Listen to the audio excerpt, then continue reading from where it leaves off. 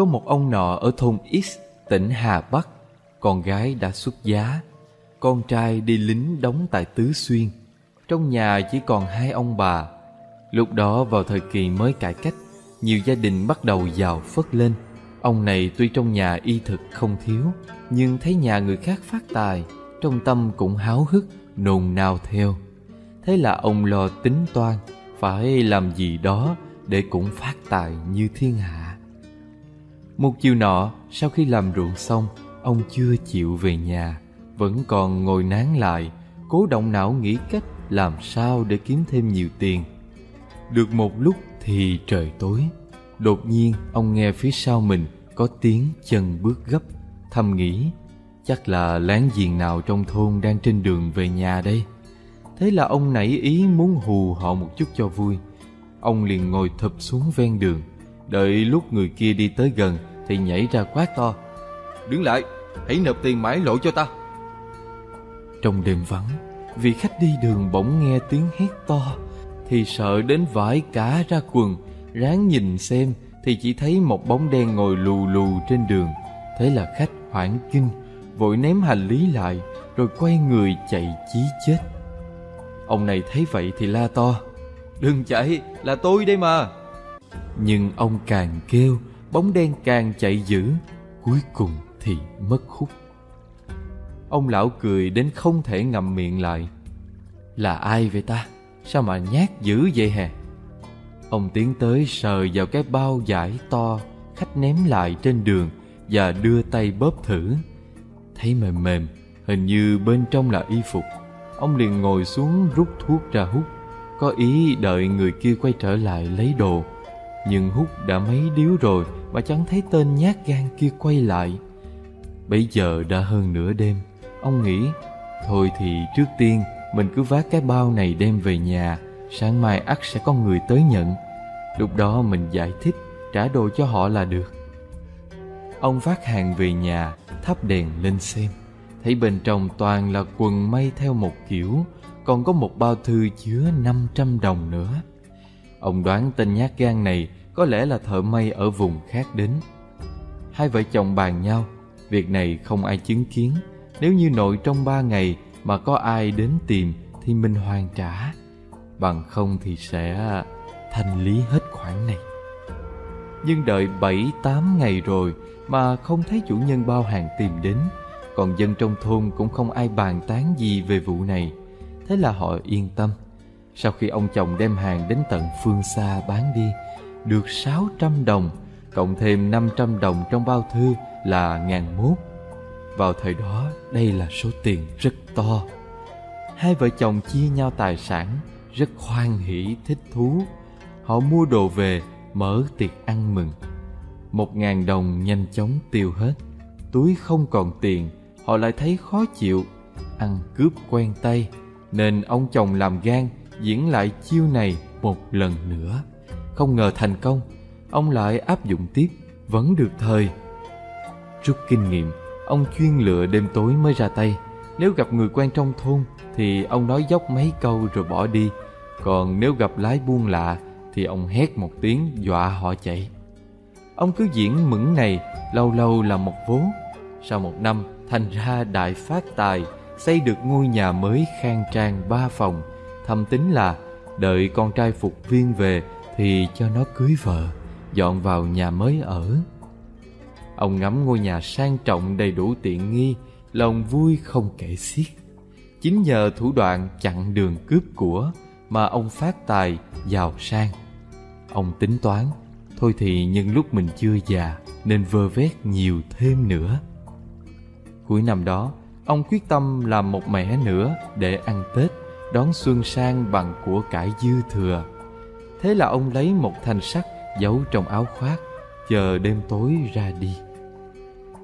Nhưng đêm đó, ông đợi rất lâu mà không thấy ai tới. Vừa định quay về, thì bỗng nghe âm thanh đạp xe có két. Khi xe đến gần, ông liền ngồi thụp xuống quan sát. Thấy phía sau xe có chở rất nhiều đồ, ông vội quát to một tiếng, làm người trên xe hoảng sợ té xuống. Nhưng hắn đã nhanh chóng đứng lên, sẵn sàng quyết đấu cùng ông ông vội cầm cây sắt quất mạnh vào đầu bóng đen bóng đen kêu thét lên rồi ngã xuống. Ông nghĩ lần này mình ra tay nặng quá. Không thấy nạn nhân động đậy, ông bèn đưa tay sờ mũi hắn để thăm dò. Hóa ra y đã tắt thở. Ông hoảng sợ nhưng lại khởi ác niệm nhớ đến cái kênh nhỏ ở gần đó bèn nhủ thầm đã làm thì phải làm cho tới nơi tại phần số hắn xui xẻo mà thôi thế là ông lấy sạch tài vật trong túi người chết với vẻ rất chuyên nghiệp.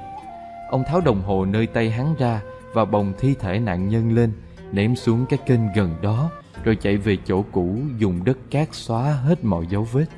Sau đó ông chất hàng cướp được lên xe, ràng kỹ, rồi ung dung đạp xe về nhà, ném hết mọi căng thẳng âu lo ra phía sau.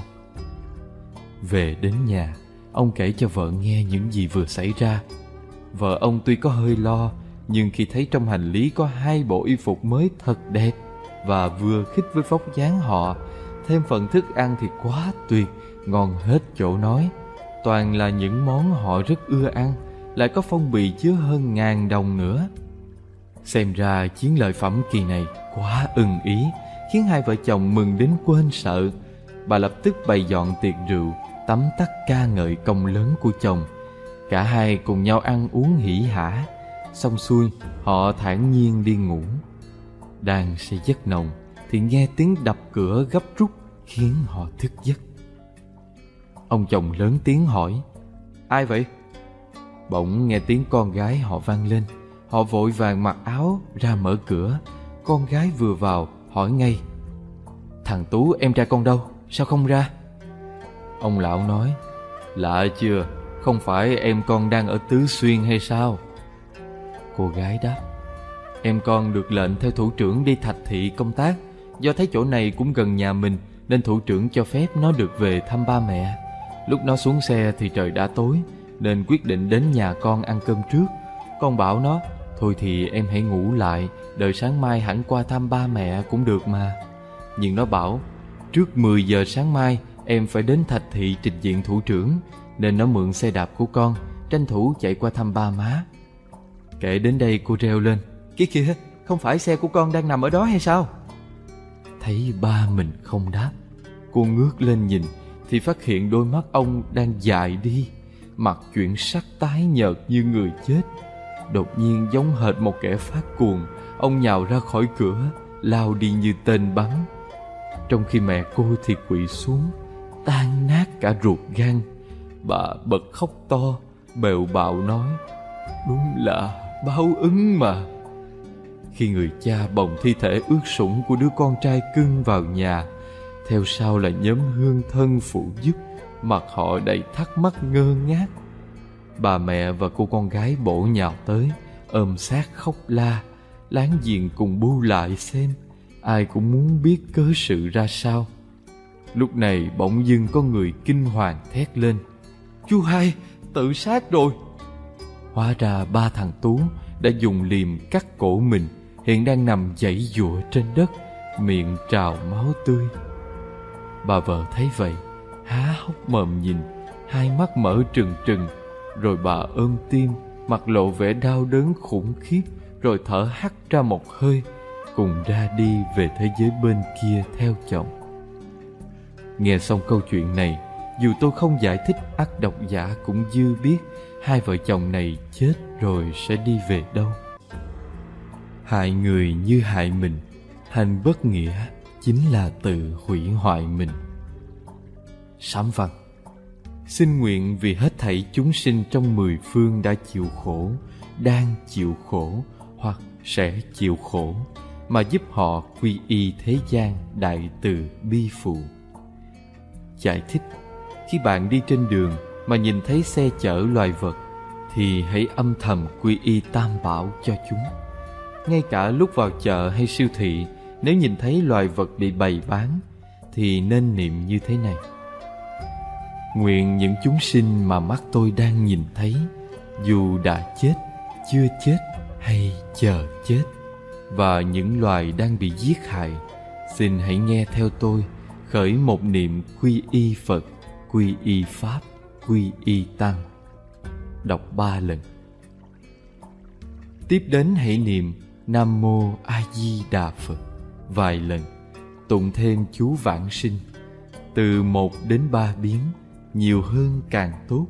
Như vậy sẽ có vô lượng chúng sinh quỳ tại hư không nghe thọ tam quy, niệm Phật theo bạn. Sau khi chúng chết rồi được vãng sinh thiện đạo, do nhờ phát khởi một niệm lành này.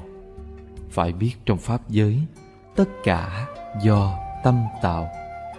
Phải hiểu công đức bái sám phi thường lớn cần dùng lực công đức này hồi hướng cho những chúng sinh đang thọ khổ giúp chúng quy y phật pháp tăng khiến cho được lợi. Khi giúp chúng sinh thọ ích tất nhiên bản thân cũng thọ ích đồng thời phẩm vị cảnh giới cũng được thăng cao quả phụ giải lương hoàng sám là tác phẩm biên dạng mới nhất, cũng là tác phẩm cuối cùng của quả khanh. Sau này nếu tôi có dịch gì của ông, thì chỉ là những bài lẽ mà trước đây tôi chưa kịp dịch thôi. Bởi quả khanh rất ít nói về mình, nên tôi xin chia sẻ chút ít về ông, theo những gì tôi sưu tầm, tra cứu được. Quả khanh sinh năm 1944 ở Thiên Tân ông từng giải thích về vị sư phụ bí ẩn diệu pháp. Tôi đặt tên diệu pháp, hàm ý rằng phật pháp là diệu pháp. Chỉ những ai chân chánh tu hành, đúng theo giáo lý phật dạy mới là đại sư. Vì vậy, chắc chắn hòa thượng diệu pháp là bậc minh sư đức cao vọng trọng, phẩm hạnh tôn quý. Vì tên diệu pháp là hóa chân, quả khanh tạm đặt.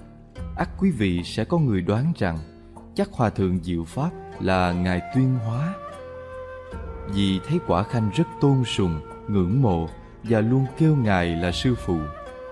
Thực ra, theo nghiên cứu của tôi, quả khanh là một vị rất đặc biệt. Tôi để ý câu thơ ông làm, minh sư nan tìm tìm trong kinh.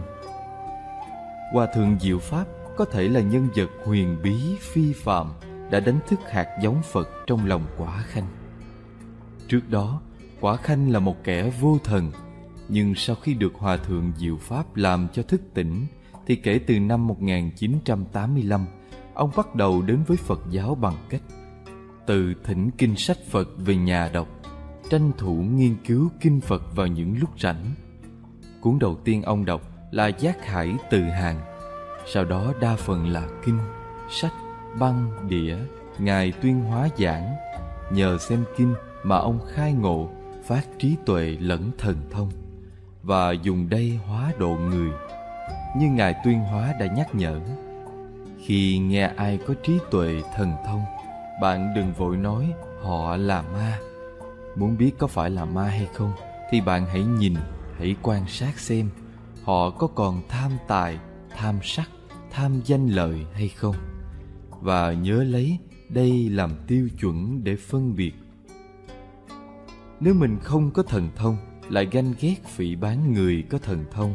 Lên án nói họ là ma gá nhập, tức tạo tội làm chướng người tu.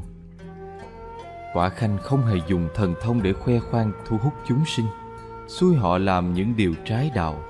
Mục đích của ông, nhắm vào việc hướng dẫn chúng sinh bỏ mê về giác, dứt ác tu thiện, tuân giữ giới cấm, hành theo pháp phật tận hưởng pháp lạc giải thoát Suốt gần 10 năm tự tu, qua nghiên cứu kinh điển, ông đã hóa độ hơn trăm vị cư sĩ. Trong đây có hơn 20 vị đều chứng đắc thiên nhãn thông, thiên nhĩ thông, tha tâm thông, túc mệnh thông, thần cảnh thông. Họ tiếp tục làm sứ giả Như Lai, hoàng pháp lợi sinh cùng ông. Điều đáng nói là ông không hề nhận làm sư phụ những người mình từng hóa độ. Đối với những người lớn hơn hoặc bằng tuổi, ông xem họ là pháp lữ. Còn đối với hàng nhỏ hơn hoặc tiểu bối thì ông gọi họ là sư đệ. Và sau này đều đưa họ vào làm đệ tử ngài tuyên hóa.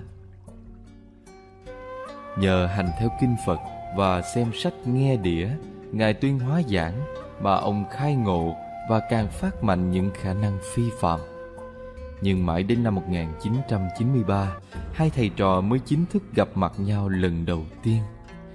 Vào thời điểm này, Ngài Tuyên Hóa mới ban cho ông pháp danh Quả Khanh.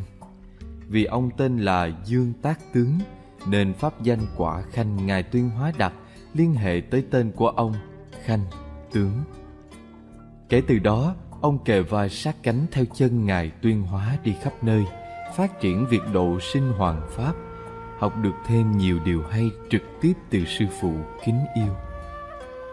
Năm 1995 ngài tuyên hóa viên tịch, ông quay về đại lục. Xem như ông chỉ có hai năm kề cận thầy, nhưng tình sư đồ nồng hậu vô biên. Đến nỗi sau này mỗi lần nhắc đến sư phụ tuyên hóa, ông luôn thổn thức, nghẹn ngào. Quả khanh có năng lực độ sinh rất mạnh và cũng nhờ những tác phẩm của ông mà nhiều người thức tỉnh, tự thu nhiếp thân tâm, quay về với phẩm cách ngọc khiết băng thanh. Thậm chí có không ít người đã cải gia vi tự, tinh tấn sửa mình, từ bỏ thói xấu, tận hưởng pháp hỷ sung mãn. Chưa có tác phẩm nào tôi dịch vất vả cực kỳ như bộ sách này, vì phải dịch hết 10 cuốn sám văn, đính kèm theo phần nhân quả phụ giải sau đó phải dò đi dò lại hơn 10 lần, đắn đo, cân nhắc, suy tính, rồi cứ tuyển lựa và lược bớt dần sám văn đến tối đa, sao cho sách không khô, dễ hiểu và nội dung nằm đủ trong số trang giới hạn để độc giả xem không ngán, dễ tiếp thu. Vì vậy, nếu muốn xem sám văn đầy đủ, xin quý vị tìm đọc nguyên cuốn lương hoàng sám. Do tôi bế quan không tiếp khách nên quý vị có nhu cầu cần liên lạc, xin vui lòng gọi cho người đại diện tôi qua số phone 0938 422 977 098 618 4908 Tôi cũng xin cảm ơn dàn diễn viên hùng hậu đã phát tâm đọc hết bộ sách Báo ứng hiện đời và nhân quả giải theo Phật giáo khiến thính giả được nhiều lợi ích. Hy vọng dịch phẩm này tiếp tục đem đến nhiều lợi lạc cho quý vị. Xin hãy rộng lòng tha thứ cho mọi sai sót của tôi trong suốt quá trình phiên dịch. Bây giờ, mời quý vị xem tiếp phần cuối Nhân quả phụ giải lương hoàng sám của Quả Khanh. Ngày 17 tháng 1 năm 2016, Hành Đoan. Nghề phù có một nữ cư sĩ tên Thu, ăn chay đã lâu Mấy năm trước qua Úc định cư, Năm ngoái bà Thu gọi điện đến cho tôi, Kể là mình bị băng huyết, Uống thuốc gì cũng không cầm, Chẳng biết phải làm sao Vừa tiếp điện thoại, Tôi có cảm giác bà đang phá giới, liền hỏi, Bà có chiếc gà hoặc làm nghề gì liên quan đến kinh doanh thịt chúng sinh không? Bà tỏ vẻ rất kinh ngạc Vội kể là hiện tại mình đang làm thu ngân cho một siêu thị. Ông chủ là người Trung Quốc, Cư xử với bà rất tốt. Vì muốn giúp bà kiếm thêm nhiều tiền Nên kế bên bàn thu ngân, Ông còn lập thêm một lò nướng điện Để bà tranh thủ lúc rảnh Thì phụ tẩm ướp gia vị vào con gà Mà nhà bếp đã giết rồi Và cho vào lò nướng. Bà hỏi, Làm vậy mà cũng tính là phá giới hay sao? Tôi không đáp ngay. Mà hỏi lại bà Giả sử có một nhóm người đi cướp ngân hàng Đến nơi họ thuê tôi đứng canh cổng giúp cho họ Bà hãy nói xem Khi cảnh sát đến phá án Họ có bắt tôi hay không hả? Vì vậy nếu những người đích thân cầm dao sát sinh Mà có ai tham dự vào Dù chỉ làm công tác phụ giúp Thì cũng đồng tội. Bà là đệ tử tại gia của Phật Đã thọ giới, sám hối thầy dứt trừ ác nghiệp. Vốn là đời này túc nghiệp đã trả hết rồi, Vậy mà bây giờ lại đi tạo thêm tội mới nữa. Cho dù là bà không giết vật, Chỉ tham gia làm công tác phụ tạm ướp gia vị và nướng chín thôi, Thì điểm chính cũng là Mượn đây để gia tăng thu nhập cho mình. Mà việc này Phật từng xếp loại, Thuộc về nghề bất chính, Là tà nghiệp chứ không phải chánh nghiệp. Nhìn bề ngoài tưởng rằng việc này là chuyện nhỏ, Nhưng nghiệp tội trên thân bà rất lớn. Vừa tạo nghiệp thì bị thọ báo ngay. Đúng ra cũng là việc tốt, Vì được trả báo liền. Bà phải sám hối lỗi này trước Phật, Xong rồi thì tuyệt đối không được làm nghề gì Liên quan đến dạng công tác tương tự như thế nữa, Thì bệnh sẽ lành. Bà nghe xong hiểu minh bạch, lập tức sám hối, thề đoạn tận ác nghiệp. Ngày hôm đó, chứng băng huyết liền dừng. Loại báo ứng ngay trên thân như thế này, thực ra có rất nhiều. Chúng ta nhất định phải lấy giới làm thầy, áp dụng lục độ vào trong đời sống thường nhật. Đây là ý nghĩa chân chánh của niệm phật. Như vậy mới được chư phật bồ tát gia trì. Sám văn. Bồ tát tính tướng thưa, bạch thế tôn có nhiều những chúng sinh ở trong hỏa thành bị thiêu đốt tâm can. Vì sao mà bị như thế? Phật đáp, do đời trước khi làm người, họ thiêu đốt rừng núi, phá hang ổ, chiên ráng loài vật, làm cho chúng sinh chết trong thống khổ đau đớn, nên nay bị hành tội như vậy. Lại có chúng sinh ở nơi tuyết sơn, bị gió lạnh làm da thịt nứt nẻ cầu chết không được, cầu sống không xong. Khổ sở trăm ngàn, tội này do đâu?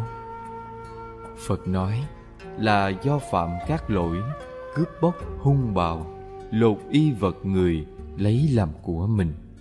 Mùa đông giá rét, hại người trần trụi chết cống, lột da xẻ thịt trâu dê, khiến chúng khổ đau khó kham.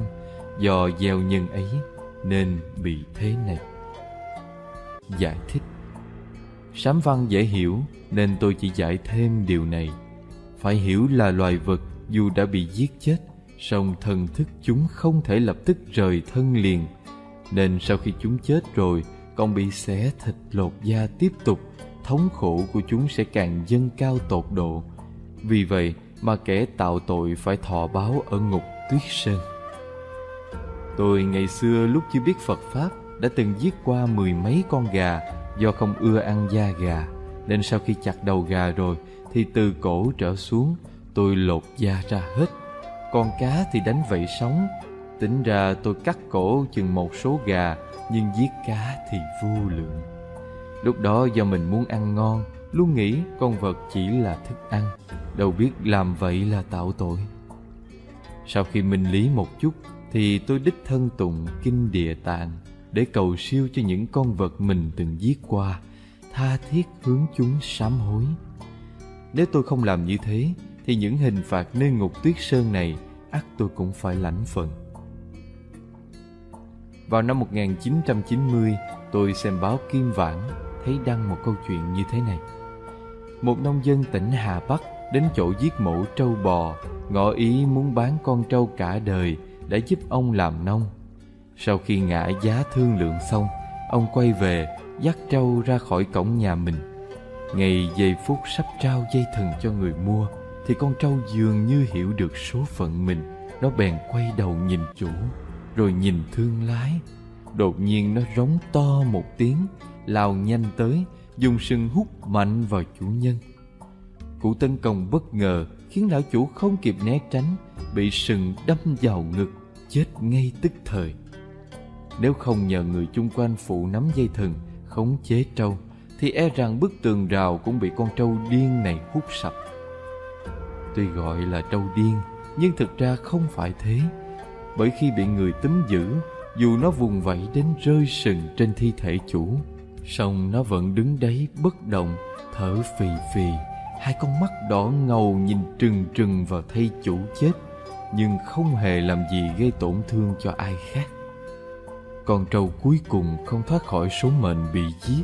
Nhưng câu chuyện này làm tăng thêm niềm tin kiên định trong tâm tôi. Độc giả hãy tự mình chiêm nghiệm và ngộ ra đạo lý trong đây.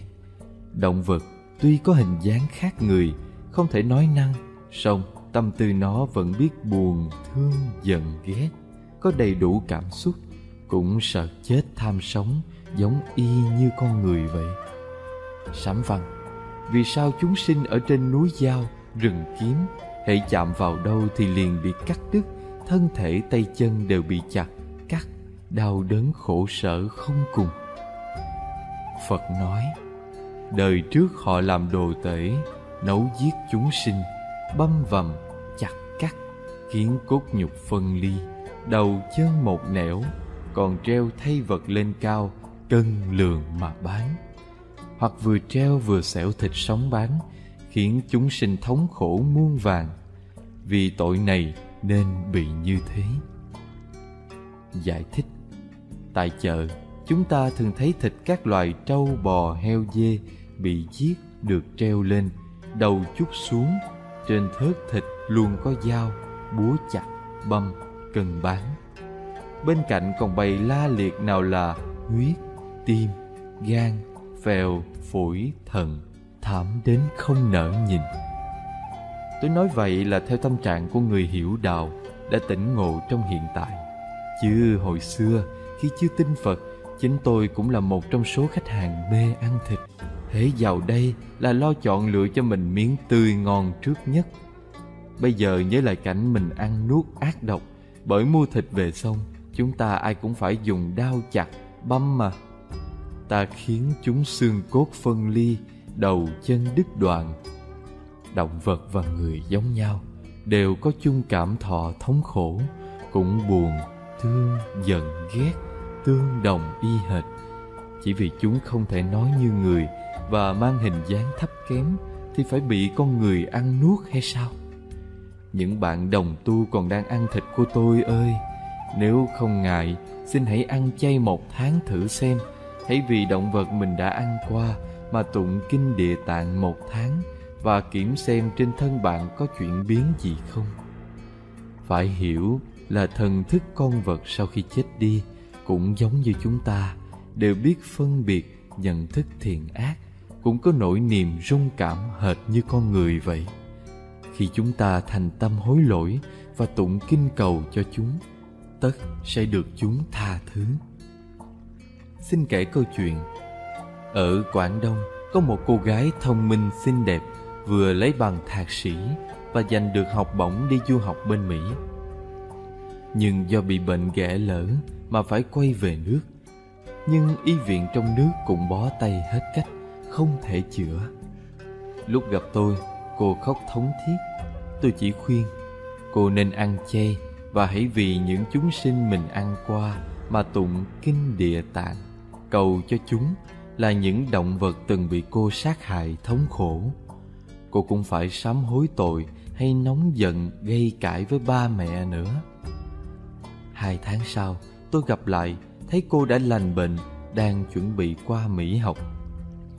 Khoảng nửa năm sau, tôi nhận được tấm hình chụp cô đang lãnh bằng, tay cầm bó hoa tươi.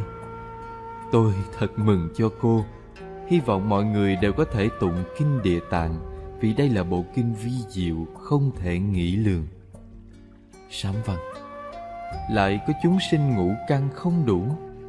Phật đáp, vì đời trước họ ưa săn mồi hay bắn chim thú, hại chúng bể đầu, đứt chân, nhổ lông, bẻ cánh, làm chúng sinh đau khổ cực cùng. Vì nhân ấy nên bị như vậy. Giải thích, ngũ căn gồm mắt tay, mũi, lưỡi, thân. Bị các căn không đủ là mắt mù, tai điếc, lưỡi ngắn, thân tàn tật, vân vân. Bởi do đời trước từng săn bắn hại vật, dùng cung tên súng ống, bắn, giết gây tổn thương cho vật hiện tại nước ta không cho phép giữ súng, nên chuyện đi săn bằng súng tương đối hiếm. Nhưng ở ngoại quốc, gần đây có một vị tổng thống những khi rảnh, ông rất ưa đi săn bắn. Kết quả là hôm nọ lúc ông xuất ngoại diễn giảng thì bị người săn giết. Đây chỉ là hiện thế báo. Sang đời sau, nếu ông còn được làm người, sẽ bị ngủ căng không đủ. Tôi vào thời niên thiếu, cũng dùng ná bắn chim, tàn hại ếch, châu chấu, bọ ngựa, các côn trùng nhỏ rất nhiều. Đa số đều bị tôi ngắt đầu hoặc làm gãy chân, rụng cánh. May là tôi chưa trả báo thì đã biết tu tỉnh phật học. Nếu không, có thể tôi sớm đã bị tứ chi bất toàn hay mất mạng. Nhân quả báo ứng như bóng theo hình. Chỉ vì người tạo nghiệp bất đồng nên khi thọ báo xảy ra nhanh chậm khác nhau. Có người đợi nhân duyên đời sau chín mùi rồi mới thọ báo. Có người ngay trong đời này trả quả liền Trong câu chuyện con lừa đầu thai làm cháu đến đòi nợ hai vợ chồng là ông Dương và bà Trương. Sau khi hai vợ chồng này học Phật rồi, ngày ngày thấm nhuần Phật Pháp, hoan hỷ tu hành, thì thằng cháu nội đó nhờ bọn họ biết tu mà sớm chuyển ác duyên thành thiện duyên. Từ cảnh vốn là đứa cháu ngỗ nghịch, nó biến thành ngoan hiền, hiếu thuận, tới nỗi có lần ông bài tiết khó khăn, thằng cháu đã kiên quyết khom lưng quỳ xuống để hỗ trợ cho ông suốt nửa tiếng. Nó còn tự học các món chay, thỉnh thoảng nấu dân cho ông bà dùng. Tháng 7 năm 2007, Dương Pháp Hữu ly trần, hưởng thọ 83 tuổi. Khi tôi tiến đến đặt hoa tươi lên thi thể ông cúi chào vĩnh biệt, thì nước mắt bỗng tuôn không cầm được. Xem như từ nay về sau, tôi không còn thấy người bạn già từ thiện hiền lương, chí đồng hợp đạo này nữa rồi. Đang bùi ngùi, thì tôi bỗng nhìn thấy ông Dương xuất hiện trên không. Ông đang quỳ trong một hoa sen to lớn, hướng về tượng Tây Phương Tam Thánh đảnh lễ. Giữa tiếng Phật nhạc ngân gian hòa cùng âm thanh Nam Mô A Di Đà Phật đang niệm liên tục, không ngừng, gian vọng vào lỗ tai tôi. Vì lúc đó, nghi lễ cáo biệt đang tiến hành. Cảnh mình vừa thấy khiến tôi phấn chấn, nhưng tôi chỉ có thể chia sẻ niềm vui này bằng cách nói nhỏ vào tai nữ pháp hữu quả năng. Chèn ơi, Dương Lão đã qua khai kiến Phật, ngự ở vị thượng phẩm hạ sinh rồi. Tính ra thời gian ông Dương học Phật chỉ có 7 năm, nhưng nhờ có thiện căn sâu dày, vừa quen biết chúng tôi thì ông lập tức phát tâm, nghiêm trì giới luật, thể dứt tuyệt đồ mặn ăn chay trường. Ở trước mặt tôi, chân thành phát lộ những lỗi lầm sát, đạo, dâm, vọng đã tạo trong quá khứ, thực lòng ăn năn sám hối. Bởi vì đúng ra ông sắp bị mổ tim nhưng giờ tu tập theo Phật mà được miễn trừ, nên càng tăng thêm tính tâm tu học kiên định. Sáu năm sau, ông cùng vợ là bà Trương đồng phát tâm Bồ đề, chuyển gia vi tự, biến nhà thành đạo tràng, siêng tu tinh tấn không lười. Họ thường phản tỉnh, luôn kiểm điểm sám hối mọi lỗi lầm từ thân khẩu ý mình đã phạm qua một lòng cầu thoát ly tam giới, vãng sinh tịnh độ. Hằng ngày, cứ mỗi buổi sáng và tối, cả hai cùng đi công viên tản bộ. Họ đồng niệm Phật, dùng máy đếm, tự định khóa trình thế này. Trên đường đến công viên thì niệm Nam Mô Quán Thế Âm ngàn tiếng.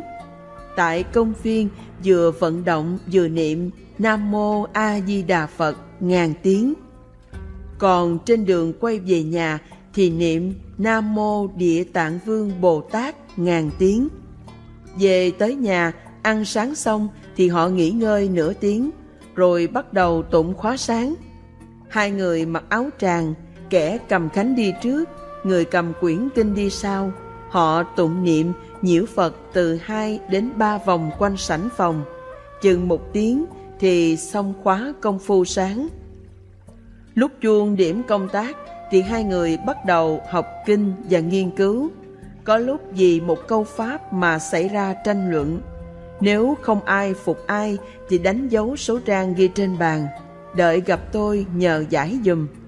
Nếu tôi tán thành quan điểm của ông thì ông hoan hỷ mỉm cười, bà cũng vui vẻ khen và lập tức học tập theo. Nếu tôi khen bà đúng thì bà mừng vui, nghinh đầu vỗ tay mặt mày hớn hở tươi tắn, nhìn hồn nhiên khả ái như trẻ thơ. Mỗi khi thấy bà biểu lộ tính dịu hiền, nhẫn nhịn giỏi, tôi thường tự xấu hổ thầm, vì tính tôi vốn rất nóng. Cho dù đã lưu tâm sửa nhiều, nhưng so với bà Trương thì tôi vẫn còn thua xa, như trời với vực. Trước mùa xuân năm 2000, tôi đến thăm ông Dương.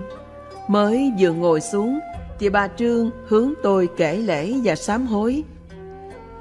Tôi tình cờ thấy trên đỉnh cửa sổ có một điểm đen, nhìn kỹ là con ruồi. Bèn kêu chồng, ông ơi, mau cầm quạt tới đây. Ông hỏi, trời lạnh thế mồ, bà còn đòi đem quạt tới làm chi? Trên tường có con ruồi kìa, hễ tôi mở cửa là ông cầm quạt xua nó bay ra nhan. Ông phê bình liền, nè, bà tu hành kiểu gì mà trời lạnh cắt da lại muốn đuổi con ruồi ra ngoài? Làm vậy chẳng phải là bà muốn nó bị chết cống hay sao? Bà nghe ông nói thì giật mình, biết là mình đã sai, dội thú nhận. Ôi chao, quả là tôi tu hành còn kém xa ông. Vì không có chút từ tâm. Mô Phật, con xin sám hối, xin sám hối. Ông nè, chúng ta hãy cùng quy y cho con ruồi nhé. Thế là hai người chắp tay hướng về con ruồi quy y cho nó.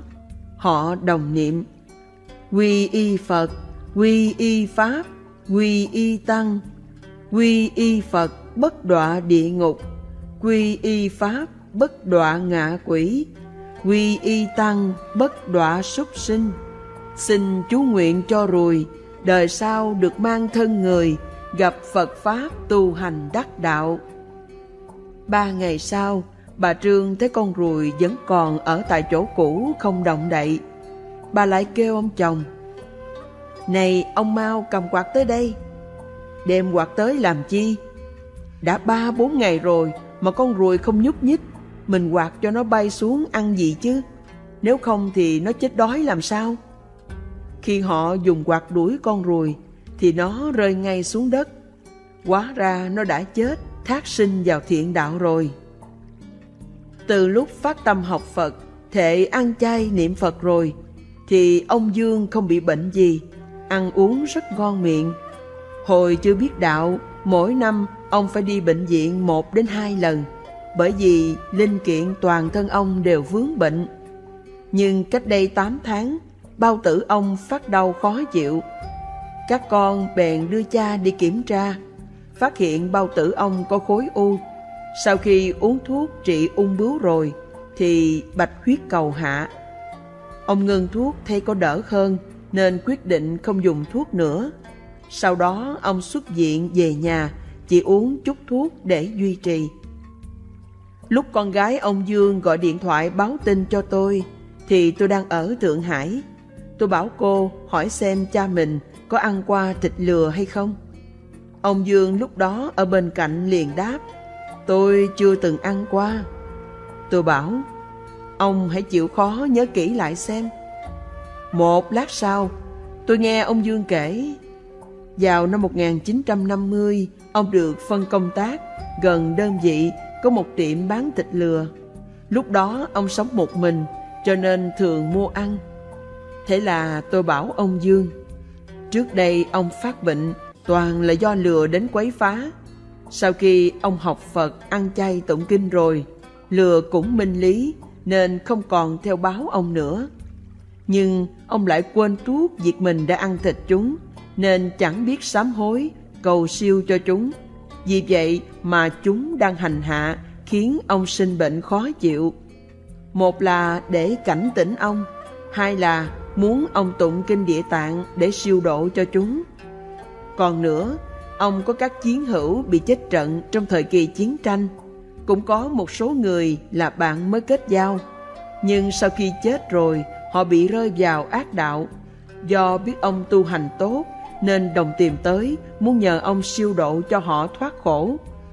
Ông hãy ráng nhớ ra tên của bọn họ, hoặc nếu đã quên thì chỉ cần nghĩ tới, đem công đức tu học Phật nhiều năm hồi hướng ban cho họ. Hãy vì họ phóng sinh, tụng nhiều kinh địa tạng, cầu cho thì rất tốt. 9 giờ sáng ngày 10 tháng 7, ông Dương đang ngủ được mấy tiếng, bỗng mở bừng đôi mắt, thấy bạn bè và con cái đang ở bên mình. Ông lộ vẻ hớn hở bảo, Vừa rồi Bồ Tát ban cho tôi hoa sen, còn chúc mừng tôi, tôi cũng đảnh lễ Bồ Tát. Rồi ông nhìn các con và nói, Các con nhớ cùng mẹ chăm chỉ tu, niệm Phật kiên định tinh tấn nha. Nhớ phải luôn tỉnh giác đó. Nói rồi ông nhắm mắt, mọi người đều cho là ông nhắm mắt nghỉ ngơi, nào biết rằng ngay trong khoảnh khắc đó, lúc đầu ông quẹo sang phải là ông đã vãng sinh rồi. Khi bà Trương gọi điện báo tin cho tôi hay chồng mình mất, bà còn hỏi thêm. Hiện đám con công tin Phật của tôi đang muốn lập tức thay y phục tắm rửa liền cho cha nó. Tôi phải làm sao đây? Tôi nói, bà phải ngăn chúng lại ngay, vì ông nhà đã giảng sinh thế giới cực lạc, hiện ở quả vị trung phẩm trung sinh. Bởi nhờ lúc lâm chung, tâm ông không điên đảo, một lòng tha thiết niệm Phật nguyện giảng sinh Tây Phương, nên đã được chư Phật Bồ Tát đến rước về Lạc Bang rồi. Bà đừng để ông phải chịu ảnh hưởng theo kiểu thế tục thường tình. Linh cửu ông nên để ở nhà bốn ngày, ngăn cấm không cho đốt giấy tiền vàng bạc, thậm chí thời nào cũng không được khóc. Sau đó, tôi cùng các bạn đạo cư sĩ ở tại Phật đường, đồng niệm Phật lớn tiếng theo phương thức ngũ âm để hỗ trợ cho ông Dương. Âm thanh gian rền lấn áp mọi tiếng ồn nơi phòng khách.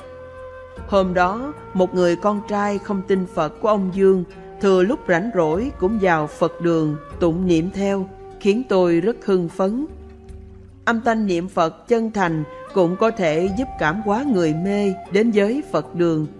Tiếng niệm Phật nghe thật lớn, đúng là xuyên thấu trời cao. Đột nhiên, đằng cư sĩ hớn hở bảo mọi người. Tôi thấy có nhiều Bồ Tát và tỳ kheo, tỳ kheo ni, thần đắp ca sa đều đang chấp tay đứng chung quanh chúng ta niệm Phật. Riêng Tây Phương Tam Thánh đứng ở phía trên, mỉm cười nhìn chúng ta, đồng phóng hào quang năm sắc phủ khắp, tỏa chiếu đến những người niệm Phật. Hôm đó trước khi ra về, tôi bỗng nhìn thấy rõ ràng đài sen của ông Dương đang bay lên trung phẩm thượng sinh. Về nhà rồi, tôi bèn gọi điện thảo luận cùng hai pháp lữ ở các nơi khác. Họ đều xác nhận là cũng thấy ông Dương đã thăng lên trung phẩm thượng sinh. Điều này khiến tôi càng phấn chấn thêm khi hiểu rằng tính tâm của người trợ niệm cũng gây ảnh hưởng lớn đến phẩm vị phản sinh của người mất. Thế là tôi quyết tâm niệm lớn tiếng, dốc lòng tha thiết chí thành niệm Phật và giải thích cho mọi người hiểu. Ngay lúc đang niệm Phật phải nhiếp tâm chánh định, có lòng tin kiên cố để tạo ra nguồn hỗ trợ mạnh mẽ, giúp ông Dương thăng lên phẩm vị cao hơn nữa. Mấy ngày sau, có rất đông con cháu ông Dương cùng vào Phật đường niệm Phật. Trưởng tử ông trong lúc trực đêm còn ráng tụng kinh địa tạng thêm cho cha. Mãi đến khi cáo biệt thi thể thì ông Dương đã thăng lên thượng phẩm hạ sinh.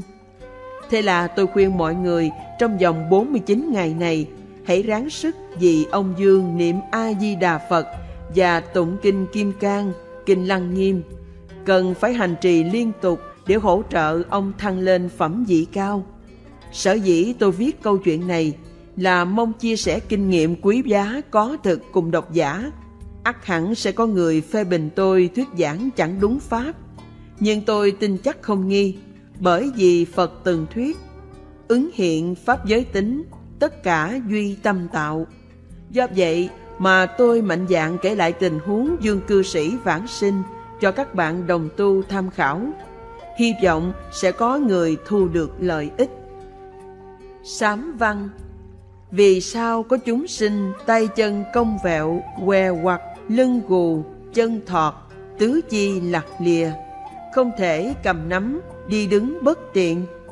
Phật đáp, do đời trước làm người độc ác, đặt khung khí phá cầu đường, làm bẫy hại chúng sinh, đào hầm, đào hố, gieo hoạn nạn tai ương cho chúng sinh, vì ác nghiệp ấy nên bị như vậy. Vì sao có chúng sinh bị ngục tốt trói, đeo gông, hành tội thống khổ? Phật đáp, vì đời trước họ giăng bẫy, chài lưới, đánh bắt chúng sinh, hay giam nhốt lục súc, hoặc làm kẻ cai trị dân mà cậy thế, ý quyền hành hạ ức hiếp người, tính tham lam ưa vơ vét, nhốt hại kẻ vô tội, khiến người lương thiện ôm oán hận không biết kêu ai, vì nhân ấy nên bị như vậy. Giải thích Trước đây, tôi từng kể chuyện một người do nuôi chim mà vô duyên vô cớ bị tù ba năm. Chính vì giam cầm chúng sinh mà bị báo ứng. Cho dù bạn giam vật trong lòng vàng, cho chúng ăn ngon, thì cũng là làm trái quy luật sinh sống tự nhiên của loài vật. Còn có người lợi dụng mình đang có quyền lực, bắt nhốt người vô tội, hoặc bắt lầm, phán tội lầm, tạo ra oan ngục. Tương lai nhất định sẽ có ngày bị công xiềng trói thân, tự gánh ác quả của mình. Do vậy, những vị giữ chức cao, nắm quyền lớn, làm ở pháp đình, nhất định phải cẩn thận. Nên chấp pháp công minh, không được vì tiền tài mà gây điên đảo, thay trắng đổi đen. Cho dù đắc thế một thời, thì tương lai khó tránh cảnh bị công xiềng hình phạt nơi chốn địa ngục. Sám văn Lại có chúng sinh điên cùng hoặc si cuồng sợ hãi, không phân biệt được chi, vì nhân gì mà mắc phải tội ấy? Phật đáp, vì đời trước làm người uống rượu say xưa gieo nhân loạn trí si tâm, phạm 36 lỗi, nên đọa làm người ngu si, giống như người say không phân biệt được tốt xấu, thượng hạ tôn ti. Vì ác nghiệp ấy nên mắc phải tội như vậy. Giải thích Xin giải sơ 10 lỗi trong 36 lỗi đó là một Bất hiếu cha mẹ 2. khinh bậc trưởng thượng 3. Bất kính tam bảo 4. Chẳng tin kinh pháp 5. Phỉ bán tu sĩ 6. Nhiếc mắng người 7. Hằng nói dối 8. Vu việc xấu cho người 9. Tùng tình đâm thọc 10 ác khẩu tổn hại người, dân dân. Sám văn Kẻ chê của người, hủy tài bảo người, cân non bán thiếu, tức gian lận cân lượng, ép giá nhằm thu lợi cho mình, sẽ bị ác báo,